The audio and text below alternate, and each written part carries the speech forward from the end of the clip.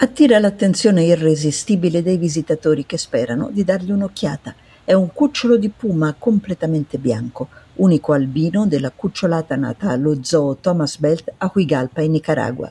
L'albinismo è una mutazione rara soprattutto in questi felini e lo zoo sta facendo il possibile per proteggerlo. Praticamente ya tiene 30 y piquito de días desde de, de que nació ha circa 30 giorni, lo stiamo controllando a distanza, è sano, è in buone condizioni, dice emozionato il capo veterinario dello zoo Carlos Molina.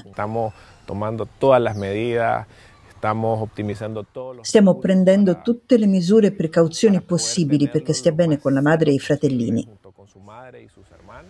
Si tratta di uno dei pochissimi casi documentati al mondo. Il pelame dei puma normalmente alla nascita è color caffè chiaro o rossiccio maculato di nero. Il puma è il secondo felino per taglia in America dopo il giaguaro, il quarto al mondo dopo la tigre e il leone. Tutte queste cose il piccolo puma albino non le sa.